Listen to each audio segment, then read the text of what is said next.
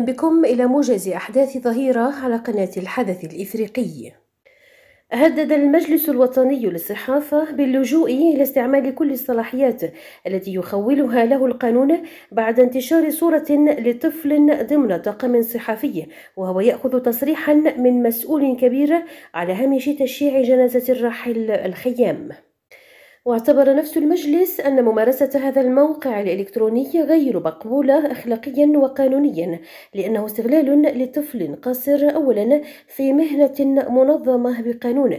ثانيا ولا يمكن ممارستها إلا بالتوفر على الشروط المنصوص عليها في القانون الأساسي للصحفيين المهنيين.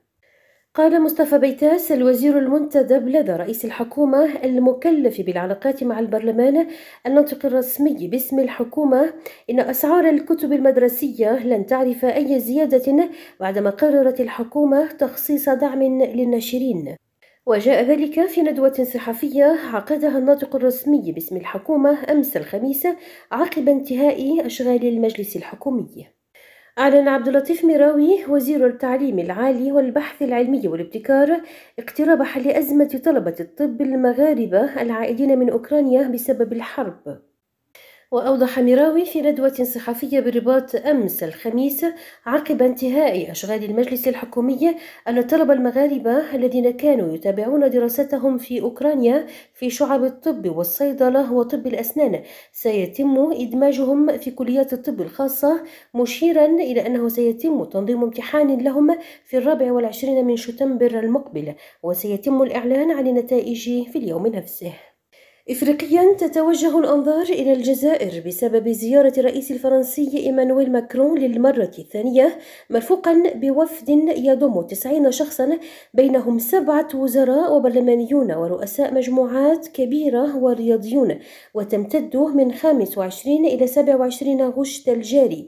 وتطبع هذه الزيارة رهانات كثيرة مرتقبة محليا وإعلاميا يأتي على رأسها ملف الطاقة ومسألة الذاكرة والتأشيرات والأمن في الساحل. توجه مئات المتظاهرين بالزي الأحمر إلى مبنى الرئاسة في جنوب إفريقيا في بريتوريا في إضراب وطني. دعت إليه أكبر نقابة عمالية في البلاد للتنديد بارتفاع التضخم وانقطاع التيار الكهربائي. وأغلق المتظاهرون الطرق في عاصمة جنوب إفريقيا أثناء توجههم إلى مقر الرئاسة مطالبين الحكومة بمنع انهيار الاقتصاد واستنكروا ارتفاع غلاء المعيشة.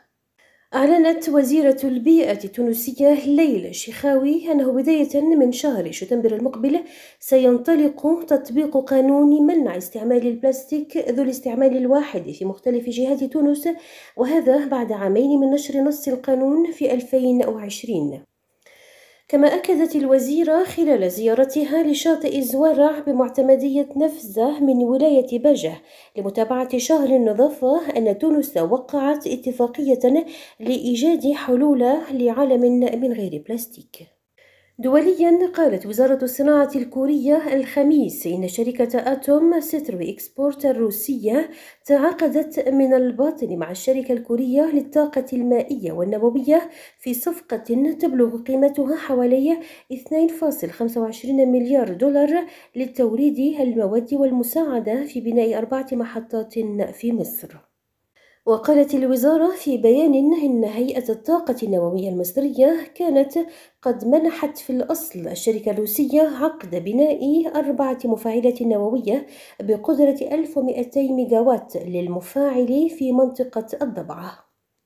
ذكرت مصادر عسكرية محلية أن الجيش الأمريكي قصف يوم أمس عدة أهداف في مدينة الميادين السورية الواقعة في مناطق بمحافظة دير الزور الخاضعة لسيطرة الحكومة في اليوم الثالث من المناوشات مع جماعات مدعومة من إيران.